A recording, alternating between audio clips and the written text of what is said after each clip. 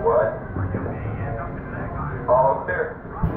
Please keep inside the car all.